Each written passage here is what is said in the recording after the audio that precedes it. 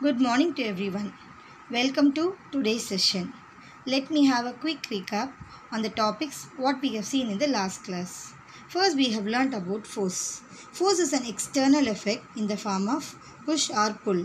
It can cause a resting object to move or a moving object to change direction. Next, we have learnt about inertia and its types. The tendency of a body to oppose or resist any change in its state of rest or uniform motion is called inertia of the body. There are three types of inertia. First one is inertia of rest, inertia of motion, and inertia of direction. The first one, inertia of rest. An athlete runs some direction before jumping because all of a sudden the athlete can't change his uh, state from rest to the moving position. So before taking jump, she is running for some extent and then uh, she is uh, attempting to jump. The next one is inertia of motion. For example, when you travel in a car, the driver applies brake. While applying sudden brake, the car stops its uh, motion. But the people who are sitting inside the bus they are continued to be in motion. So only they are leaning forward. The last one is inertia of direction. When you make a sharp turn while driving a car you tend to lean sideways. This is because of inertia of direction. This inertia is explained by newton's first law of motion Newton's first law of motion tells how to overcome this inertia. So, Newton's first law is also known as law of inertia. I'll state what is Newton's first law of motion. An object remains in a state of rest or uniform motion in a straight line unless compelled to change the state by an applied force. For example, we will connect this law with our day-to-day -day life. We never try to do our homework on our own. Unless otherwise a teacher or a parent compels to do the homework, then only we will try to do. This is example for Newton's first law. The next one is Newton's second law of motion. The Newton's second law tells how to calculate the force. That means it gives the formula to calculate the force. Newton's second law states that the rate of change of momentum of an object is proportional to the applied force in the direction of force. This is a very important uh, 5 mark question. State Newton's second law of motion. Using it, derive the formula for force. Next, I am going to derive the formula for force using this Newton's second law. Please make a note of it. Consider an object of mass m moving with an initial velocity u and after some time its velocity changes into v. So the initial velocity is u and the final velocity is v. We have, we have already learned how to calculate momentum. Momentum is nothing but product of mass into velocity. So, the initial momentum is calculated by m into u because it's initial momentum. Mass into initial velocity. So, once again, initial momentum is equal to m into u. The same like final momentum of the object is equal to mass into final velocity that is m into v. Therefore, change in momentum is equal to final momentum minus initial momentum mv minus mu. Rate of change of momentum is equal to rate of change of means the quantity which changes by time that is defined by the term called rate. Here momentum changes by time so it can be stated as rate of change of momentum. So, rate of change of momentum is equal to mv minus mu divided by t. So, substitute the same thing in Newton's second law. Force is proportional to rate of change of momentum. Force is proportional to mv minus mu by t. Since m is common, take it out. m into v minus u by t. We already know change in velocity by time is nothing but acceleration. So instead of v minus u by t, you substitute acceleration. So the force becomes force proportional to m into a. When we change the proportionality constant into equal to symbol, we have to introduce a constant. That is nothing but k. So, now the formula changes into f is equal to k into m into a. Here k is called proportionality constant. If you take k value as 1, then the force will be changed into F is equal to m into A. Since Newton's second law gives the formula how to calculate the force, the Newton's second law is also known as quantitative definition of force. Quantitative definition of force. So next we are going to learn about what is unit of force. Already you know unit of force is nothing but Newton.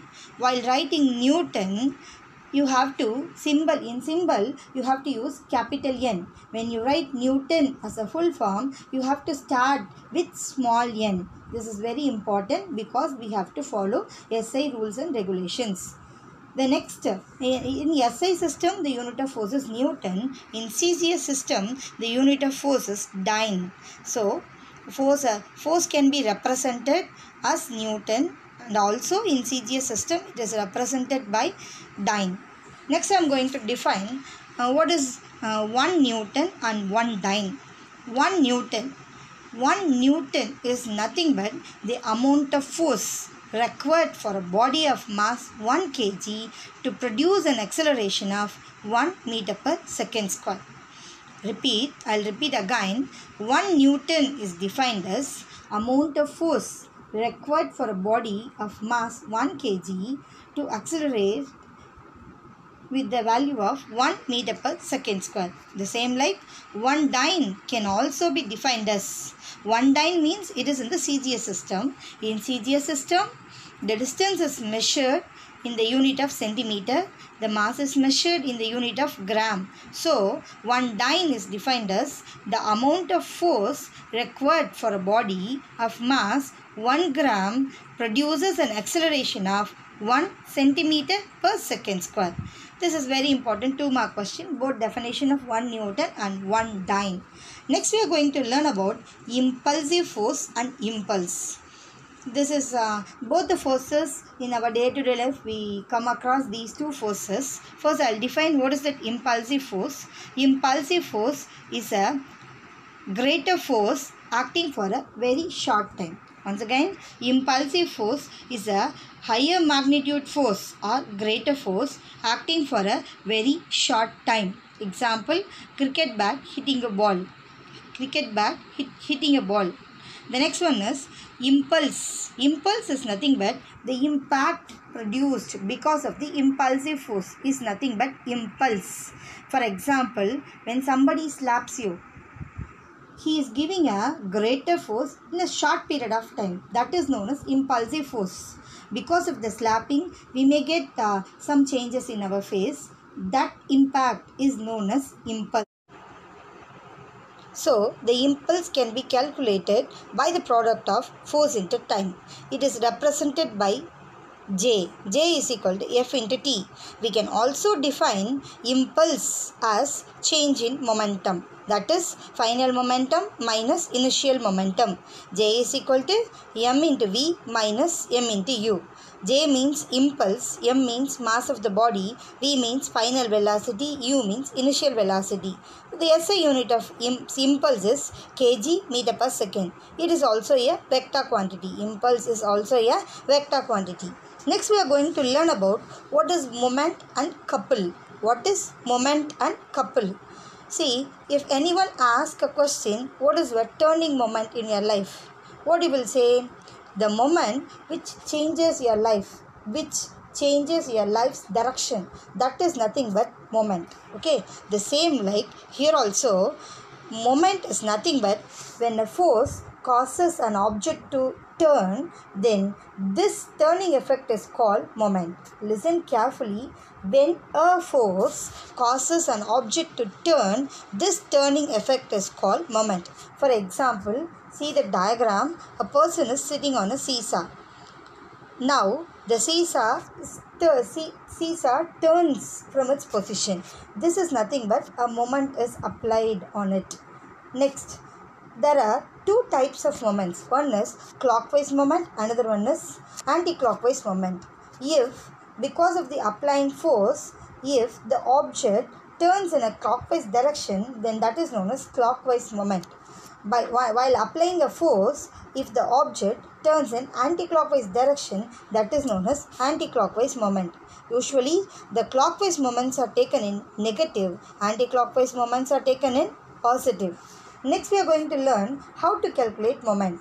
Moment is calculated by the formula force into perpendicular distance between the force and pivot. Pivot is nothing but the point from which mm, the force is applied. That is nothing but pivot. So once again, moment is calculated by the formula force into perpendicular distance between the force and pivot. So in symbols, moment is equal to F into D. The unit of moment is Newton meter. Next we are going to learn about force. First we have learned what is moment. Moment means when the force, a force causes a turning effect then that turning effect is called moment.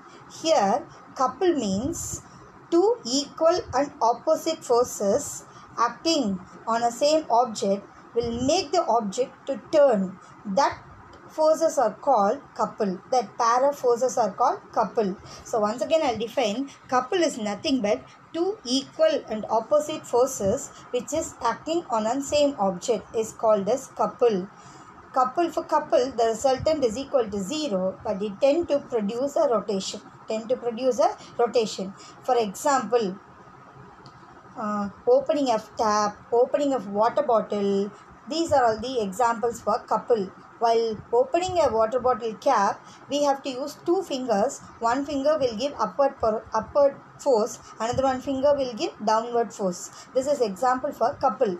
But for moment, example for moment is opening of a window, opening of a door, opening of a book. These are all the example for moment. Because here one end of the object is fixed. We are giving a single force on the another end. So that type of uh, uh, force is known as moment. Okay? Can you understand what is moment and what is couple? Now we are going to see the difference between moment and couple.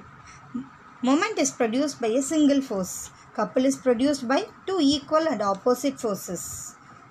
In moment the resultant force will make the object to move in the direction of force. But in couple, the resultant force is zero because couple means two equal and opposite forces. So the resultant is zero. Here, the force will move the body and also rotate the body. But couple, the body will not move but it will rotate. Example for moment is tightening of nut by spanner, opening and closing of the door.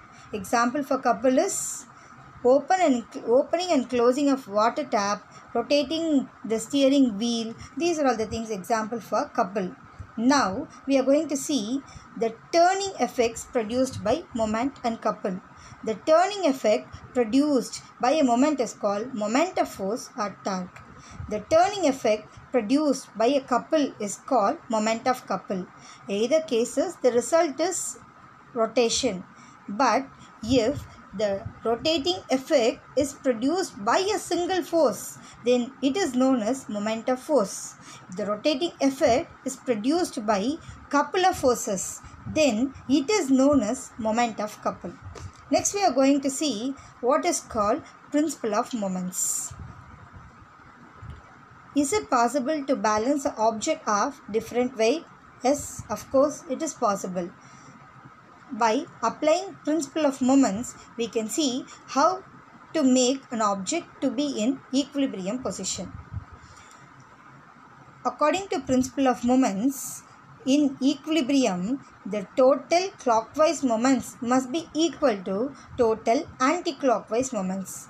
I'll repeat, in equilibrium, or for an object to be in equilibrium, the total clockwise moments must be equal to total anti-clockwise moments. Then how can I uh, make these clockwise moments and anti-clockwise moments to be equal? That too in the uh, in the absence of external force by adjusting the distance between between the object and the point of uh, rotation. That is nothing but principle of moments. I'll repeat, principle of moment is defined as in equilibrium, the total clockwise moments must be equal to total anti-clockwise moments. Next we are going to learn about Newton's third law of motion. Everyone aware of it because Newton's third law is nothing but every action has equal and opposite reaction. But action and reaction never acts on same bodies. It will act on different bodies. For example, if a ball applies a force on the table, then the table applies equal and opposite force on the ball. That is nothing but Newton's third law of motion. Now we are going to see some examples for Newton's third law of motion. The first one is recoiling of gun. When you fire a bullet, the gun recoils back, backward and the bullet is moving forward. The gun equalizes this forward action by moving backward. So many examples we can see. For example, uh, when air-filled balloon is released, the force of air coming out of the balloon exerts an equal and opposite force on the balloon. So, the balloon moves in the opposite direction of the gas. The next one is rocket propulsion. Rocket propulsion is a very important application of Newton's third law of motion. When the fuel burns the gases coming out is an action because of this action the rocket moves upward direction this is nothing but reaction. Next we are going to learn about a very very important application of newton's third law. That is nothing but law of conservation of momentum. Law of conservation of momentum states if no external forces acting on a system, then the total momentum will remain constant. That is, in the absence of external force, the total momentum before collision will be equal to total momentum after collision. Now, we are going to prove law of conservation of momentum using Newton's third law of motion. First, consider two balls A and B having masses m1 and m2 respectively. Let their initial velocities be u1 and u2. That is, ball A moving with the initial velocity u1, ball B moving with the initial velocity u2. u1 is slightly greater than u2. So, it will both will collide with each other after collision. A and B moves with the velocities v1 and v2. That is, the final velocity of A is v1, the final velocity of B is v2. Now, we are going to calculate momentum of ball A. You know what is momentum? Momentum is nothing but product of mass into velocity. So, now we are going to calculate the initial momentum of A. Initial momentum means mass into initial velocity. So, the initial momentum of A is m1 into u1. m1 into u1. The final momentum of A is mass into final velocity that is m1 into v1. Therefore, according to Newton's second law, the force is the force acting on the body A is m1 v1 minus u1 divided by t the force acting on A is the force acting on A is mass into acceleration that can be written as m1 into v1 minus u1 divided by t. The same like the force acting on the ball B is F2 is equal to m2 into v2 minus u2 by t. According to Newton's third law, both the forces will be equal but it is opposite to each other. So, F12 is equal to minus F21. Substitute both the formulas, cancel T because it's common for both, common in both the sides. So, cancel T. So, we will be getting M1 V1 minus M1 U1 is equal to minus M2 V2 plus M2 U2 take all uh, initial velocities in one side, final velocities in another side. So now we will be getting m1 u1 plus m2 u2 is equal to m1 v1 plus m2 v2. This is nothing but total momentum before collision is equal to total momentum after collision. So we can prove in the absence of external force, the total momentum before collision is equal to total momentum after collision. This is a very important 5 mark question. They used to ask state and prove law of conservation of momentum using Newton's third law of motion. Next we are going to Next, I'm going to explain rocket propulsion based on both Newton's laws of motion and uh, law of conservation of momentum. Based on Newton's third law of motion, when the fuel burns, the gases are coming out in the downward direction. Because of this action, the rocket experiences upward reaction. Based on the law of conservation of momentum, you know that in the absence of external unbalanced force, the total momentum should be constant. So to make it a, to make it as constant, while the rocket moves up, its mass getting reduced and uh, the velocity is getting increased.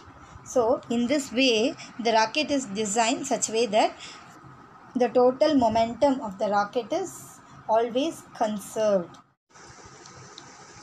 That's all about laws of motion. The next video we will be learning about gravitation, laws of gravitation, acceleration due to gravity, weightlessness and so on. So related to this topic, I have uh, given 5 marks and 2 marks question. Students, please make a note of it. Try to do it in your uh, rough note.